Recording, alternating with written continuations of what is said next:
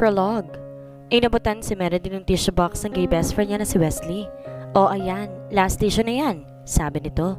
Itigay mo ng pagkakaryola mo. Walang kakwenta-kwentang lalaki, iniiyakan mo.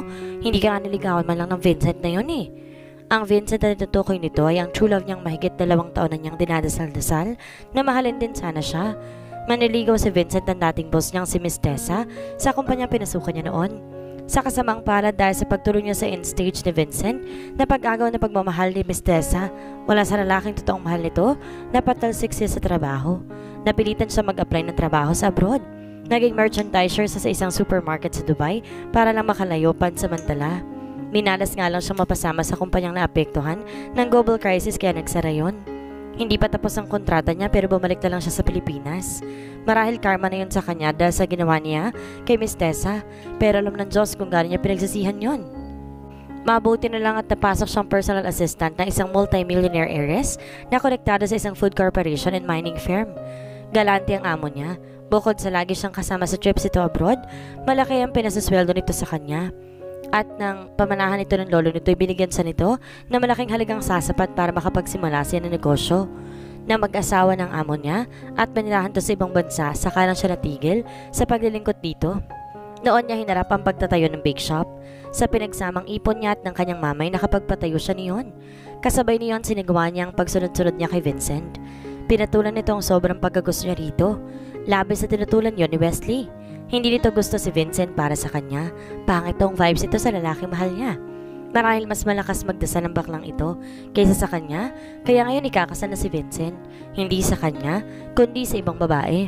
Kumbaga sa pagkain, tinikman lang siya nito, kaya parang ginugutay sa maliliit na pirasong puso niya. Mahal ko talaga si Vincent Wesley. Giit niya. Oo na, nandun na ako. Pero magwagaw lahat ng pagit dito sa earth. Pasasan ba't mag-fade ng feelings mo sa lalaking yon? Hindi mawawala ang pagmamahal ko sa kanya. Sana naakana na lang niya ako. Siguro kung nangyari yun kahit pa paano, hindi ako masasaktan ng ganito. May part niya na naiwan sa akin. Loka, pasalamat ka nga, di ka niya nabuntis. I mean, hello? In the first place, hindi ka dapat nagkagusto sa kanya. Panay ang pagtaas baba ng mga kaili nito. Pareho nating alam naman loloko siya. Hindi ba't niloko niya yung boss mo dati sa kagustuhan niyang maagaw to sa true love nito? At ikaw lang siya ang sobrang pagkabaliw mo sa kanya? So ano ka ngayon? Nako, Maria Luisa. Kung nagkataon na ikaw ang pakakasal ni Vincent, ako susugod sa simbahan para tutulan ng kasal ninyo. Sobra ka naman. Bakit ayaw mo ba akong lumigaya? Gusto nga kitang lumigaya kaya gagawin ko yun, if ever. Basta na nag-iisang tissue na hawak niya, kaya suminghot na lamang siya. Paano nga ako liligaya kung ilalayo mo sa akin ang taong mahal ko? Alam mo, sandali ka lang naman magsasuffer. Pero ipapaputol ko ang lahat na nakalawit sa akin kung hindi mag-fade in time ang pagmamahal na sinasabi mo. At kapag dumating ng panahong yon, pwede ka nang tumingin sa ibang mga potential boyfriends. Malay mo, makita mo pa ang turing na Prince Charming mo. Saka Vincent na makakatuluyan mo, hindi matutupad ang pangarap mong haranahin ng isang guy. Hindi na talaga matutupad yun. Hindi na naman usong harana ngayon eh. Bata pa sila nito na may panood siyang classic movie kung saan ninaharana ng isang lalaki ang isang babae. Doon niya unang naramdaman ng kilig na nararamdaman ng isang babae. Kaya marahil tumatak yun sa isip niya at sinabi niya kay Wesley na pangarap niyang haranahin siya na magiging boyfriend niya. Pilosopohin daw ba ako? I-out mo na sa sistema mo si Vincent. I'm sure makakakita ka ng ibang tao, yung totoong Prince Charming material. Mali mo matupad sa kanyang pangarap mo. Matuto ka lang maghintay, bruha. Napabuntong hininga siya. Unti-unti na siyang namumulat sa realidad ng buhay na napakalitong porsyento na lang ang natitira kung meron man sa mga kalahi ni Prince Charming. Wesley, ayoko na kikipagsapalaran. Ayoko na maghintay. Gusto ko na magkapamilya. Kailangan ko na mag-anak or else baka matulad ako sa ate Juliet mo na nahirapan na mag-anak dahil gurang na siya na mag-asawa. Ang tinutukoy niya ay ang pinsan nitong kapitbahay nila. Imagine, kinder pa lang tayo nun, pangarap ko na makapag-asawa ng lalaking mahal ko at mahal na mahal ako. Magkaanak at bumuo na isang masayang pamilya. Pero eto, hanggang ngayon single pa rin ako. Single with no prospect at all of a potential boyfriend. Pinaikot ni Wesley ang mga mata nito. Kung may special line ka sa telephone ni Father God, matutupad agad yung wish mo. Pero girl, be realistic. Babae tayo. Wala tayong choice kundi maghintay na lang na darating ang Prince Charming. Ako lang babae. Ikaw, bading ka. Bading, check ka rin. Patapusin mo nga muna ako. Maarteng inirapan niya ito. As I was saying, kung darating ng maagang Prince Charming mo, magpasalamat ka. Pero kung hindi, may magagawa ka pa ba? Meron! Maigting na sagot niya. Naiinis siyang hindi umain ng lahat sa mga plano niya. Nakita nga niya at nakilala ang lalaking mahal niya at nakandang mahalin habang buhay. Pero ibang babae at hindi siyang gusto nito. Paano nang plano niyang mag-asawa ngayon 2011? Sabihin mo nga sa akin, Wesley, pangit ba ako kaya hindi ko magawang gustuhin din si Vincent? Tingnan mong isang to, ngayon pa nagduda sa beauty niya. Naiinis na sabi ni Wesley. Hindi ka pangit, okay? Maganda ka nga eh, pati ugali mo maganda. Ang pangit lang sa'yo kapag na-in-love ka, nabubulag ka, nagiging sunod-sunuran ka sa minamahal mo to the point na pati mali gagawin mo just to please him. Grabe ka. Minsan ko lang naman ginawa yun. Matagal ko nang pagsisihan yun. Saka hindi naman napunta si Miss Tessa kay Vincent. Napunta pa rin siya sa true love niya kaya wala na akong guilt sa mga nangyari. Sinuklay niya ng mga daliri ang kanyang buhok bago siya nangalumbaba. Bakit bang malas-malas ko? Lalo lumabang pag-asa ko na magka-baby. Naghihimatok na sabi niya. Don't worry my friend. Kapag umabot ka na sa 30 at wala pa rin matinong lalaki makapagbibigay sa ng anak, ako mismo magdodonate ng sperm ko sa'yo na nakalaga sa nag-isang sperm bank ng Pilipinas. Nahinto sa pagdulo ang mga luha at uhog niya ng tingnan nito. Seryoso ka? Oo naman. Kesa sa ibang babae hindi ko kilala, ikaw ang likaw ng bituka, mapunta ang sperm ko. E di sa'yo na lang? Hindi naman yun ang ibig kong sabihin. Totoo nga may nakalaga kang sperm sample mo sa sperm bank? Oo, noong 24th birthday ko. I can't believe it. Nanlalaki ang mga matang sabi niya. Ano namang dahilan at naglagay ka ng sperm mo? Bumuntong hininga ito, parang hindi komportable sa i-reveal na dahilan. Alam mo namang hindi ako may love sa isang babae, so malabo rin ako magkaasawa. Pero kapag handa na ako maging daddy, hahanap ako ng surrogate mother na pwede magdala na magiging anak ko. No choice ako. Ipinangako ko kay mommy bago siya namatay na may magpapatuloy na ang namin. Inuulit ko, surrogate mother lang ang magiging papel ng babae, hindi asawa ko. Matari na pagtatapos nito. Nagkanda ihit siya sa pagtawa kahit katatapusan niyang umiyak. A year later, ikaw pala, Ate Juliet. Ani meron din ang pagbuksan niya ng pinto ang pinsan ni Wesley. Halika, pasok ka. Salamat. Binukas niya na maluwag ang pinto para dito. Sa palagay niya may mahalagang sadya ito sa kanya at sa pakiramdam niya tungkol iyon kay Wesley.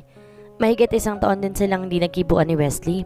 Nagalit siya dito na malaman niyang nagpauputo ito kay Brandon na bukod sa isang drug user ay nanghuhutot pa. Bilang kaibigan, pinagsabihan niya itong layuan ng lalaking yon dahil walang buting idudulot yun dito. Nagarit ito sa kanya. Huwag daw niyang subukang hadlangan ng kaligayahan nito. Kay Brandon raw ito maligaya kaya hindi ito magpapapigil sa kanya. Lalo siyang nainis dito.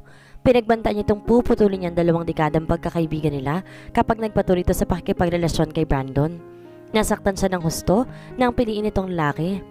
Mahal na mahal niya ito bilang kaibigan. Itinuring na niya itong kapamilya pero basta na lang nitong itinapon ng pagkakaibigan nila. Mula noon, wala na silang naging communication. Kapag masasalubong niya ito, siya na ang umiiwas. Kapag itong una nakikita sa kanya, ito naman ang kusang lumalayo para lang hindi mag-cruise sa mga landas nila. Aaminin niya. Sobra-sobra ang pagkakamis niya rito. Lalo na nang in love siya sa isang customer nila na nanligaw sa kanya at sa huli maling nabigo. Namimiss niya yung mga sandaling pinagagalitan at pinalalakas itong kanyang loob. Na kapag alam nitong depressed siya, kasama niya nitong isusuyod ang lahat ng pasyalan sa Maynila at Cavite. Marami siya naging kaibigan pero si Wesley lang ang tinuturing niyang soul friend. Lately, hindi na niya napagkita si na Brandon at Wesley sa lugar nila. Ano nga palang sadya mo, Ate Juliet? Tanong niya. Kukunin sana kitang ninang ng inampon naming baby at ng asawa ko. Mali pa lang akala niya na tungkol kay Wesley ang sadya nito. Mabuti pa to, kahit paano natupad ng pangarap na maging ina. Samantalang siya ng palabo ang chance na magkanak in the near future. Nag-ampon pala kayo? Babae ba o lalaki? Lalaki. Actually, matagal na namin na pagkasandaan to ng mister ko. Naghihintay lang kami ng maaampon na alam namin na ang background ng bata. Sige, Ate Juliet. I-text mo lang ako kung kailan ang binyag. Basta within this month, Melody ha. Sabado yung gagawin. Tapos na nitong sabihin ng sadya, hindi pa rin to umaalis. May sasabihin ka pa ba, Ate Juliet? Lalo lumungkot ang ngiti nito. Galit ka pa rin ba kay Wesley? Ang akala niya hindi nito mababanggit si Wesley. Ang totoo, Ate Juliet, nagalit ako sa ginawa niya, pero hindi talaga ako nagalit sa kanya. Nagtampo lang ako. Sumama ang loob ko na pinagpalit niya kay Brandon ng friendship namin. Nadala ako ng emosyon ko pero maintindihan ko siya kung yun ang gusto niyang gawin ng mga panahong yun. Kailangan ko irespeto yun. Hindi lang kasi kami nagkaroon ulit ng chance sa magkausap. Mabutit pala't ganun ang tingin mo sa nangyari. Mabutit di mo pala talaga siyang tinakwil bilang kaibigan. Siya ang pinakamamahal kong kaibigan, Ate Juliet. Hindi ko siya pwedeng itakwil. Melody, may pagtatapat ako sa'yo. Pero sana sa'yo na lang to ha. Huwag mo na sanang masasabi sa ibang tao. Pangako, Ate Juliet, kung ano man ang sasabihin mo, isasekreto ko. Tungkol ba to kay Wesley? Tubango ito at lalong lumungkot ang anyo. Salamat.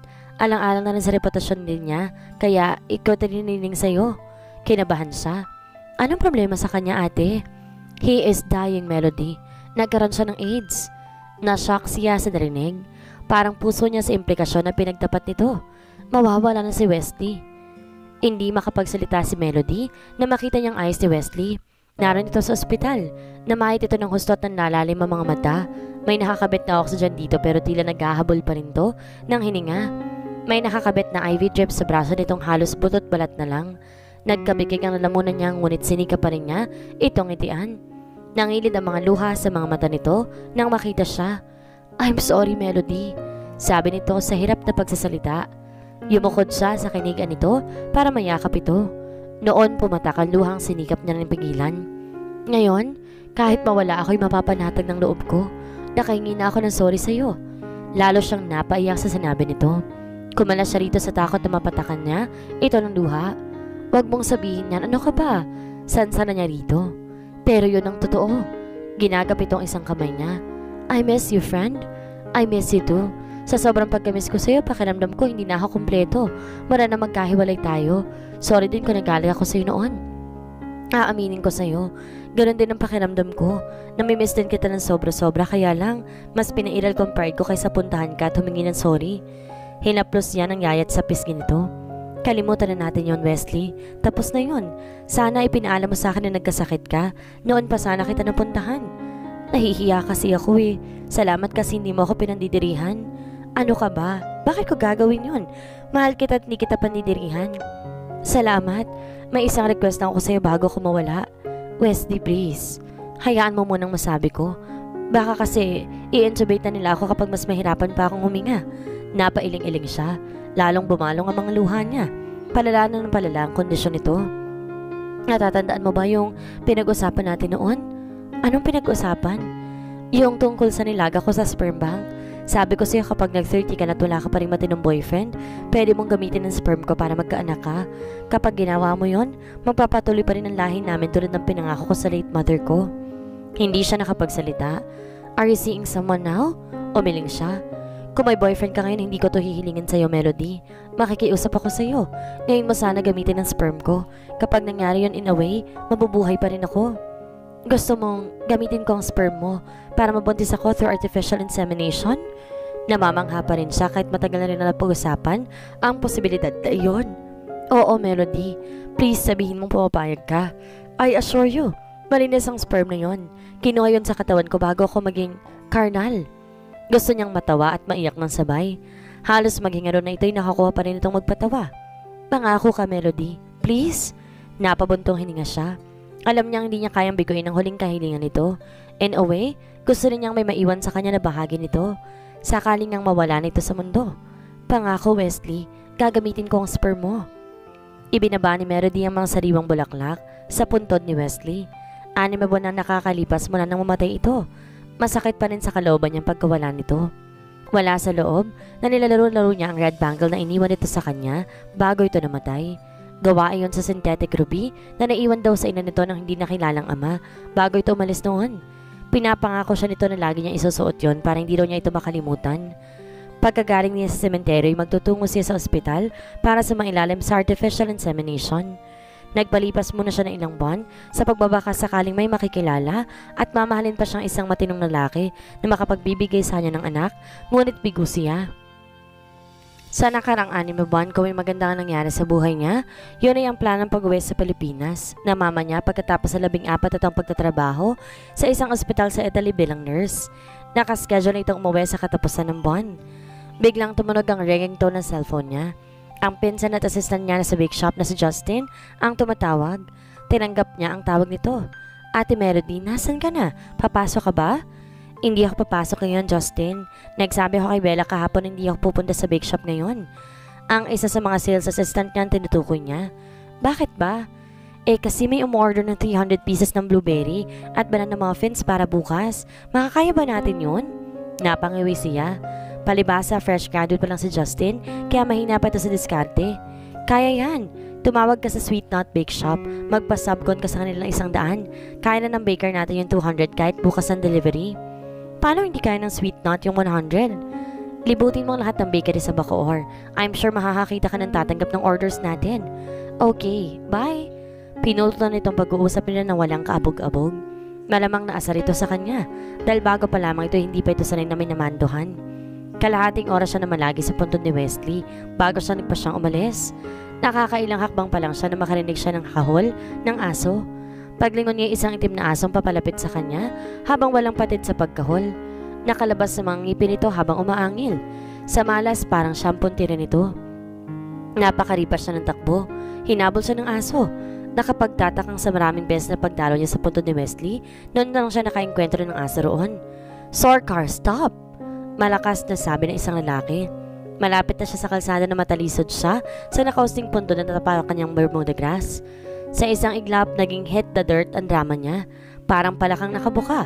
Pataob na lumatag ang katawan niya sa damuhan. Tumilapon ang bag na dala niya. Naku miss, I'm really sorry. Ako nang humingi na dispensa para dito sa aso ko. Sabi ng lalaki. Nilapitan sa nito. Hinawakan sa nito sa mga braso tinulungan sa makatayo. Kinuha rin ang bag niya sa damuhan at iniabot iyon sa kanya. May masakit pa sa'yo? Are you okay? Tanong nito sa kanya. Sa background, patuloy pa rin sa pagkahul ng aso. Pinakiramdaman niya ang sarili. Masakit ang hinalaki niya sa paa. Malamang na nabali ang kuko niya roon. Medyo masakit din ang mga braso na nagdala ng bigat sa itas na bahagi ng katawan niya na madapa siya. Lumingon siya sa taang tumulong sa kanya. Magkahalong nervous at excitement ang naramdaman niya na mapagmasdan ang mukha ng lalaki. Gwapo ito pero hindi niya ito may hahanay sa kagapuhan ni Vincent o ng iba pang lalaki na gustuhan niya noon. Ordinaryo lang ang kagapuhan nito pero hindi ordinaryo ang kislap ng magagandang mata nito. Miss? Untag nito sa pagkakatulala niya. Ha? Um, uh, okay lang ako.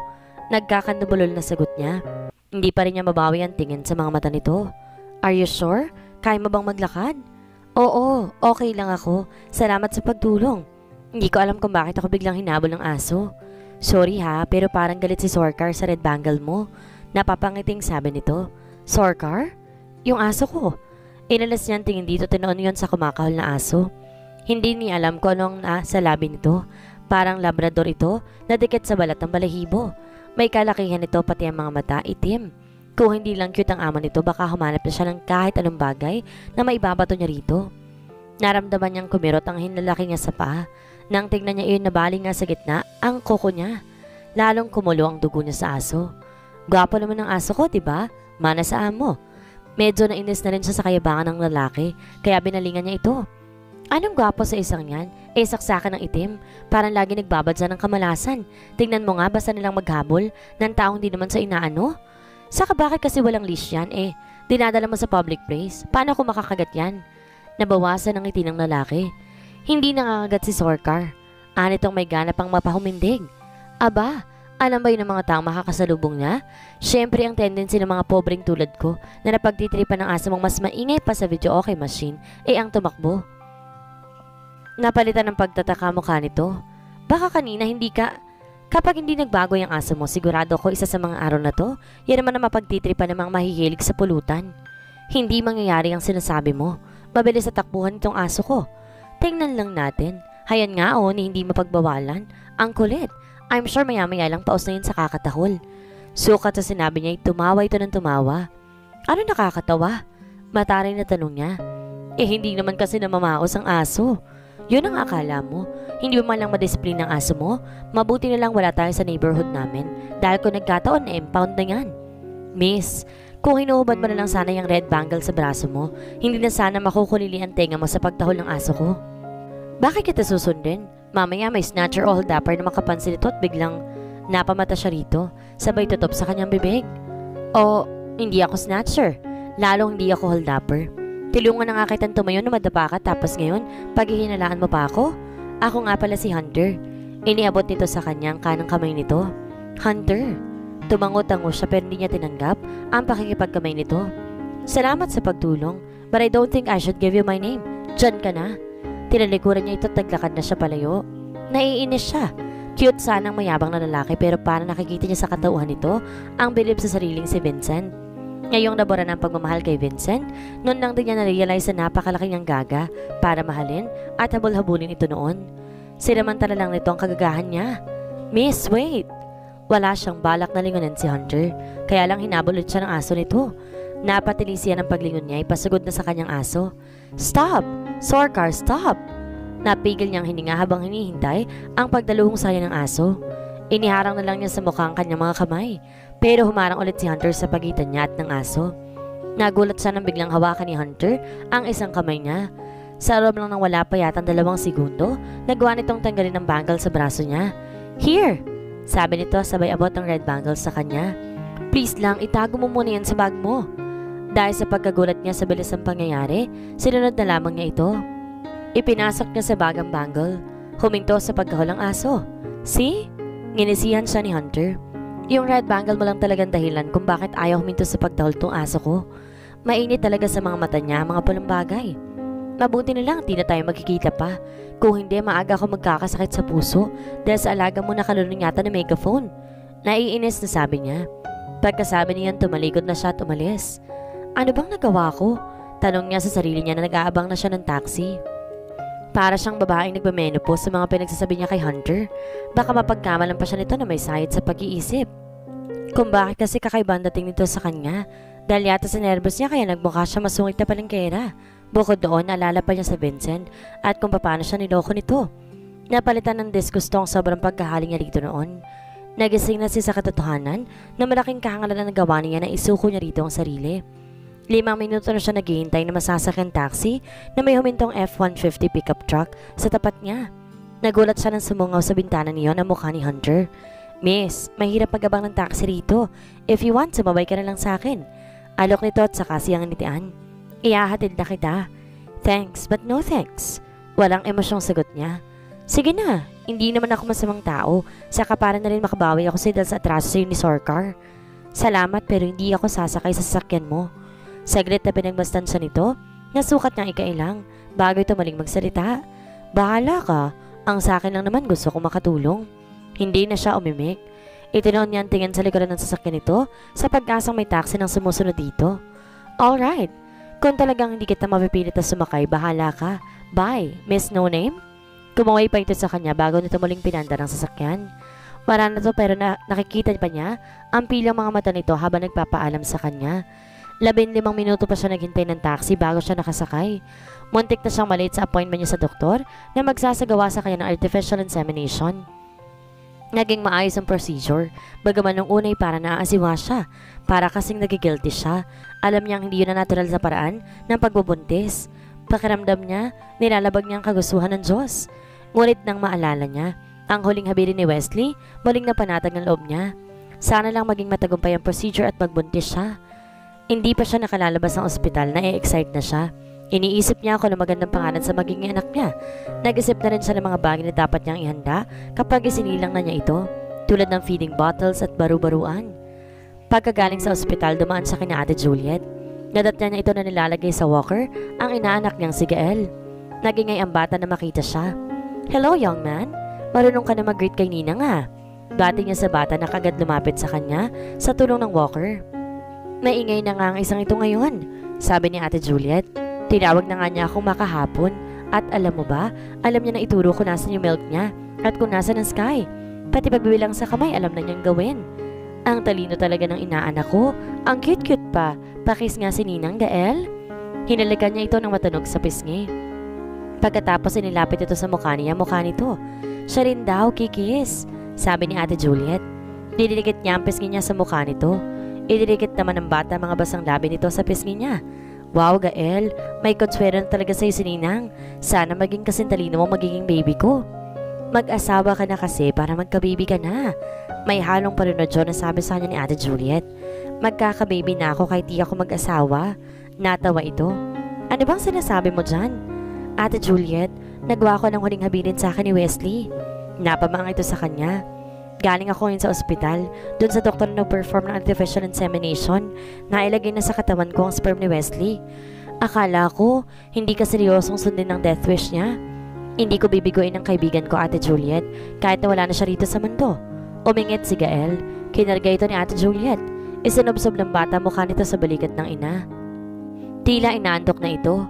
Parang lumobong puso niya habang pinagmamasa ng mga ito. Ilang buwan pang bibilangan niya at hopefully, magkakaroon na rin siya ng isang katulad ni Gael. Pero paano ka kapag dumating na yung lalaking mamahalin mo? Tanong ni Ate Juliet habang karga nitong bata. Paano kung hindi niya matanggap na may anak ka sa iba? Hindi ko nga alam kung may darating pang lalaki magmamahal sa akin. Huminto na ako umasa. I've waited long enough. Kapag may isang lalaking dumating at hindi niya matanggap na may anak ako sa iba, siguro hindi totoong pagmamahal niya sa akin. Umiling-iling ito. Hindi ka dapat kinulong ni Wesley sa isang death wish. The way I see it, magkikreate lang ng komplikasyon kapag dumating ang panahon na magkaroon ka ulit ng love life. Hindi ganun ang tingin ko, Ate Juliet. If ever mabuo ang baby sa tingin ko, alam ko ito nang simula ng pagkakaroon ng mas maaliwalas na direksyon ng buhay ko. Mamahalin ko siya at aalagaan hanggang sa makakaya ko. Sana nga'y mali ako, Melody. Pag uwi niya sa bahay, nagpahinga siya. Maaga siyang natulog. Nais niyang maging malusog ang mabubuong fetus sa kanyang sinapupunan. Halos nakatitiyak na siyang mabubuo iyon kahit sinabi niya ng doktor na 60% lamang ang garantiyang maibibigay ng artificial insemination para mabuo ang sanggol sa sinapupunan niya.